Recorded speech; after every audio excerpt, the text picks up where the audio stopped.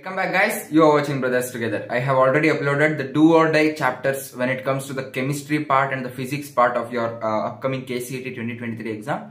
And the same way as you people uh, watch those two videos, many of you were commenting uh, asking me to just upload same kind of video when it comes to the mathematics part too. So I just thought of uploading the same as soon as possible which will help you uh, boost your preparation like anything by inculcating the same in your routine for the upcoming 8 to 9 days which are remaining for your uh, the big day for the KCET 2023 exam. So before just entering to the video, I have one good news for you. For all of those students who are just uh, preparing for exams like KCET and JEE, some of them who are currently studying in uh, top IITs and NITs of this nation have come up with a WhatsApp community called College Dost. College Dost is providing exclusive updates regarding KCET and they are also sharing best tips for your upcoming counseling process too through the same platform.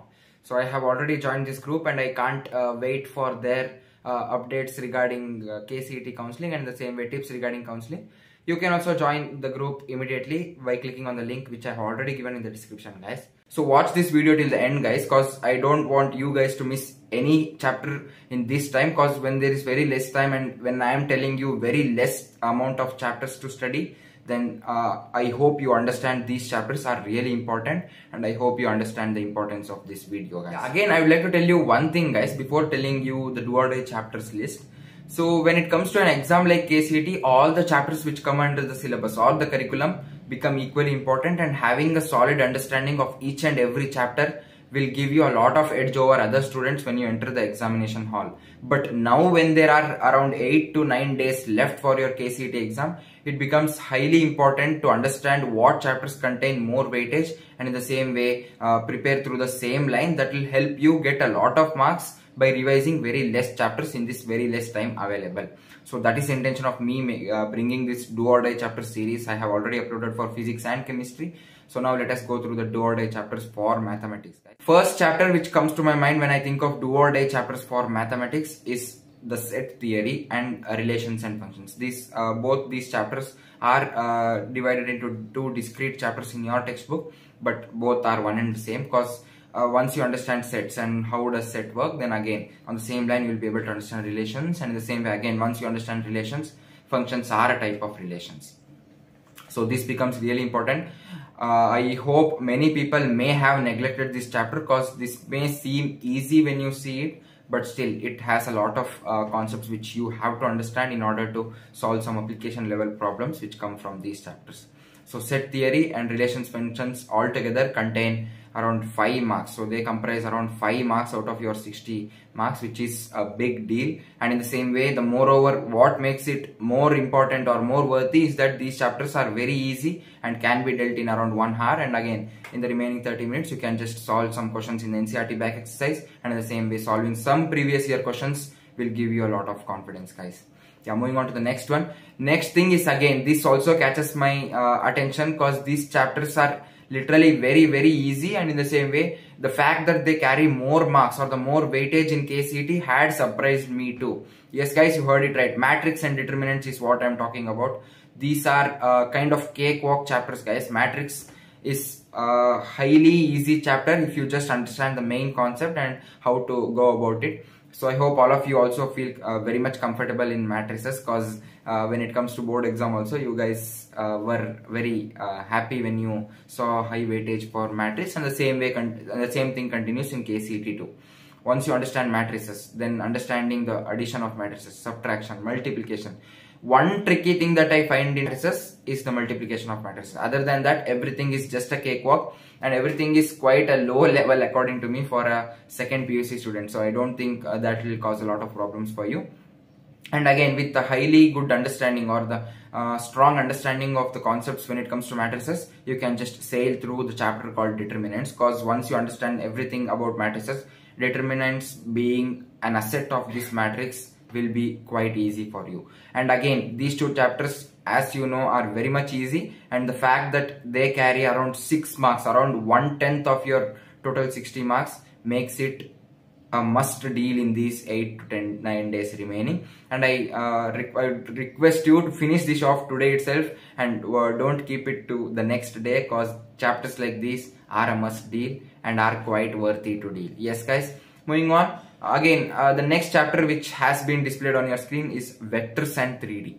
So vectors and 3D geometry again is an easy chapter. Don't think I'm telling everything easy. It must be easy for you because you people have dealt them for the uh, board exams which you have given recently and that should make uh, your journey smoother too. So again, these vectors and 3D contain around 8 marks weightage in your uh, KCET exam that I hope I shouldn't say anything much because the 8 marks weightage which is coming from this vectors and 3D will speak a lot about the importance of this chapter. So vectors and 3D again, uh, when it comes to basics of vectors, cross product, dot product, addition of vectors, unit vector, yeah, things like these are mostly conceptual, but you should be able to understand what is happening with vectors and the same way try to adopt techniques through which you can solve application level problems which come from this chapter. So i hope uh, vectors and 3d sorted. Again i have given easy level for this chapter again because even i feel this easy. And most of the people who are with me who are with me even in my college even they feel vectors and 3d as an easy chapter if once dealt with ncert exercises and some pyqs okay next moving on to trigonometry and inverse trigonometric functions yes guys the again uh, we are entering the 11th part of it uh, little now because all the chapters which i told earlier uh, except that uh, sets or the sets uh, theory uh, every every chapter which i dealt earlier comes under this 12th part which you have already dealt for your board exams. So that doesn't that shouldn't cause a lot of problems for you. Coming to inverse trigonometry and trigonometry uh, you don't need to solve a lot of questions and think a lot about trigonometry. No, try to understand the basic thing about trigonometry. Try to understand some uh, expressions or some identities. Listen to me guys, in mathematics, time is plays the biggest role guys because when you have a lot of time when you save time for questions which require a lot of time and in the same way save some time in questions which require a very less time that puts you in a highly good position when you come out of the examination hall. So because many people fail to manage time in mathematics and i was a victim of it too. So i don't want you guys to just uh, fall into that trap. So i'm just telling you in advance that time management in mathematics plays a highly important role. Uh, trigonometry and inverse trigonometric functions i hope you understand the basic gist of it and you should be solving some pyqs in order to get an idea of from where the examiner is trying to ask questions from because trigonometry in itself is a huge domain and you should be able to understand for KCET level what is the amount of understanding required and in the same way what is the examiner expecting from you. I hope uh, trigonometry is done. Again, I have kept it to medium level because there are many identities in order to remember. And in the same way, there are inverse trigonometric functions, domain range, lot of things to remember, but still worth of remembering because it contains around 4 marks. Yes guys, 4 marks is also a big deal. And uh, I uh, personally feel that uh, dealing with these two chapters for 4 marks is a good deal. Again, moving on to the next thing, now we enter the big domain of calculus wherein uh, it has both differentiation and integration. An introduction kind of thing for this calculus comes in a chapter called limits, continuity and differentiability. Again, this is a chapter which you have studied for your uh, board examinations and since it contains a lot of weightage too, I don't think many people who are watching this video have missed it for board exam. So limits, continuity and differentiability again you should be knowing uh, about uh, calculating limits for the indeterminate forms like 1 to the power infinity, 0 by 0, things like that. Again, as a pro tip, I would like to suggest you to just try out L'Hospital rule first. As soon as you see any limit question, try L'Hospital rule first because many questions which come in KCET from this limits uh, domain will be easily solved in one step using L'Hospital rule. If you uh, have any trust issues with this pro tip then uh, kindly check out some previous year questions. Then you will be able to uh, relate to it and you will be able to understand why I am telling this so uh, that is one thing which you have to take care. And again when it comes to continuity you should be knowing how to check whether a function is continuous or not in a particular inter interval or in the same way at a particular point. You should be able to check uh, left hand limit right hand limit and the corresponding value of the function when you place the corresponding uh, x into it. This chapter altogether contains around 5 marks and I hope you will definitely able to grab at least 4 or 5 out of these 5 guys. So yeah, moving on. Uh, now let us see through differentiation and AOD. So differentiation is you should be knowing the basic concept of what actually differentiation is and some basic formulas for differentiation. So if it is in the form x to the power n then it should be converted into nx to the power n minus 1. These are some things you should know following with these things you should be knowing some certain rules because there are rules such as product rule which is uh, famously known as uv rule from some uh, by some of you people yeah uh, product rule uh, will tell you how to differentiate a whole function which is expressed in the form of a product of two different functions and the same way quotient rule which will help you uh, differentiate two different functions in the form of f of x by g of x. So these are uh, certain formulas which you have to keep in mind. And adding to this there are certain formulas known uh, there are certain rules uh, called chain rule. Chain rule is an important thing when, uh, when it comes to differentiation of implicit functions you should be able to uh, understand this and in the same way you should be able to uh, apply this when uh, it comes to KCET 2023 exam guys. I hope you will be able to do justice to this chapter if you know the basic understanding of all the formulas related to differentiation. And in the same way in this point I would like to give you again a pro tip guys because uh, many people neglect the differentiation of inverse trigonometric functions and that is what examiner knows. Examiner understands the fact that many people neglect this and he'll he or she will try to give questions based on it. So I would like to suggest you to just go through that one. So what is the differentiation of sine inverse x? You should be able to tell it is 1 by root of 1 minus x squared. So that will be fine. That will be more than okay. Again, AOD is application of derivatives. So uh, if you understand differentiation well, if you understand the concept of maxima and minima well, you should be able to apply that in the same wherein you will be having word problems, where you will be having real life problems, wherein uh, those problems will be able to, uh, I mean, you will be able to solve those problems using the concept of differentiation. Again, uh, seeing the word problem, you should be able to arrive to one expression that will give you the final answer. I hope uh, that should be a cakewalk for you if you have understood differentiation well and in the same way solved some NCERT back exercise questions. In this this uh, unit altogether carries 8 marks which is quite a big deal and in the same way I have kept it as a medium level chapter because many people find issues with this chapter guys.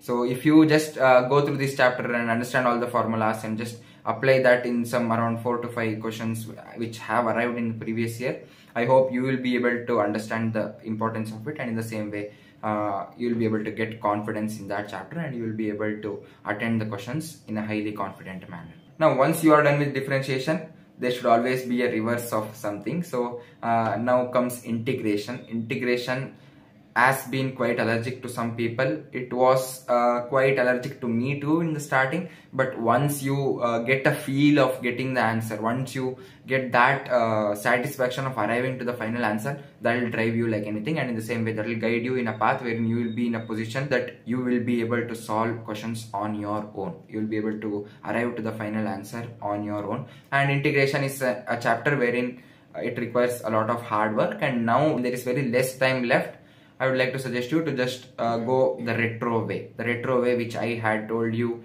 in order to tackle the organic chemistry part of it. Take some problems, then try to understand what is happening in the solution. And from that, try to understand from where examiner is trying to ask a lot of questions. And in the same way, uh, try to learn concepts from questions. So this is a method which has worked for me. And I hope that will work for many of you who are watching this video too that's why i'm just uh, suggesting you in this integration altogether indefinite integrals definite integrals and uh, application of integrals or area under the curve. These three chapters altogether comprise around 10 marks which is again 1 by 6th of your uh, total 60 marks and that makes it a must deal in these last 8 days. I hope all of you will at least try to uh, complete these integrals or uh, just revise off these integrals in these last 8 days. And in the end uh, the eighth important chapter or the eighth do or die chapter is probability. Probability is a chapter which has a soft corner in my heart because i like the way uh, that we can relate to things. There are problems there are real life problems which can be solved through theorems like bayes theorem total probability theorem conditional probability theorem. So things like this uh, make that chapter very interesting. And in the same way the fact that the chapter is interesting also and in the same way it carries more weightage makes it I have kept probability as a medium level chapter wherein you can just get confidence once you try and once you give some time to that chapter. I hope uh, you will be able to inculcate these uh, eight chapters or give importance to these eight chapters when it comes to your revision or your routine in these uh, last eight days which will fetch you a lot of marks and in the same way which will put you into a great position because mathematics is the determining part when it comes to engineering domain. This was it from my end guys. I hope you enjoyed this video. I enjoyed a lot while I was uh, going through each and every chapter and I was getting a nostalgia of uh, what how I felt when I uh, used to solve these chapters during my preparation. Don't forget to hit the like button if you also enjoyed watching this video guys cause that will give me a lot of motivation to upload same kind of videos in the coming future. And the same way, if you have any doubts or if you have any suggestions, then feel free to put it in the comment section because I'll be able to look through it and I'll be able to think of what can be done regarding it in the coming future. I'd like to repeat the same thing. Trust the process which you are in right now. Trust your own abilities. Trust the effort which you are putting in. Give your 110% effort. No matter what distractions come in your way, be focused and develop a strong mindset which will let you go in the path, in the prescribed path which in the prescribed path which will let you get a seat in your dream college. Because ultimately getting a seat in your dream college is what matters for you. Give your 110% effort. Even by chance even with around uh, 1 by uh, 10 to the power 9 probability if your KCET 2023 exam didn't go well you will be able to be proud of the effort which you have put in in these last 10 days. And that will definitely take the pain of regret out of the picture. Because I don't want anybody who is watching this video to be uh, regretting after the KCET 2023 exam that he or she didn't utilize this last 8 to 9 days effectively. For that reason itself, I am uh, insisting you guys to just uh, go into a zone wherein you will be able to prepare in a highly focused manner that will get you a seat in your dream college guys. Uh, this is Darshan S Gowda signing off guys. We are brothers together. Thank you guys. Thank you. We'll meet in the next video. Bye.